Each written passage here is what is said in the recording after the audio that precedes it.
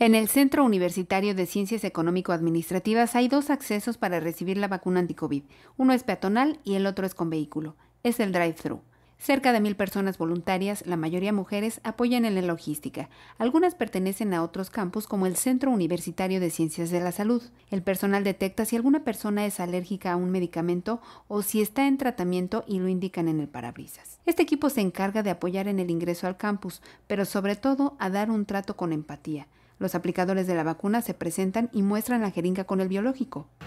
Mi nombre es Omar Correa y le voy a aplicar la vacuna de AstraZeneca. Sí. ¿Sale? Sí. Va a hacer un piquetito rápido, Sí, ¿va? gra- gracias corazón. No, hombre, ¿de qué? Ahorita De van a pasar al área de haciendo. observación, 30 minutitos. Cualquier cosita que pudieran sentir ay, ay, anormal, ay, ay, ay, van a tocar el claxon y presionar las intermitentes, ¿sale? Soy muy escandalosa, ¿eh? ¿Me ayuda a presionar aquí un minutito? Yo te la agarro. ¿Sí? Sí. Quedó vacía la jeringa Gracias. y le rompemos para que no se vuelva a utilizar, ¿sale? Sería Muchas todo. gracias.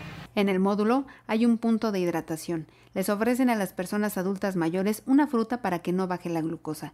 La meta es lograr una experiencia cálida luego de tantos meses de confinamiento, explicó el rector del campus, Luis Gustavo Padilla Montes. El día de ayer eh, terminamos con 5.300 dosis aplicadas. El día de hoy cerraremos con, eh, atendiendo a que acuda toda la población, serán 6.500 dosis las que apliquemos en el día 2 de esta jornada. En el corte a las 2 de la tarde quedaban aproximadamente 800 dosis por aplicar. En este punto de vacunación no se ha registrado un solo evento adverso tras la aplicación del biológico. El plan de vacunación dura cinco días y es por orden alfabético, así que no hay necesidad de dormir fuera del campus. No tiene sentido hacer una fila anticipadamente y pasar una noche difícil, dijo el rector. La primera persona que hizo fila para recibir la primera vacuna llegó un día antes a las 2 de la tarde. Prácticamente pasaron 12 horas para poder recibir su vacuna. Las personas que están llegando ahorita tardan 5 minutos.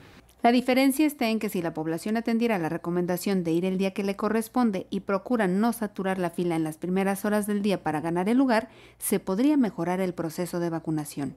Con imágenes de Juan Luis Hernández. Señal informativa, Elizabeth Ortiz.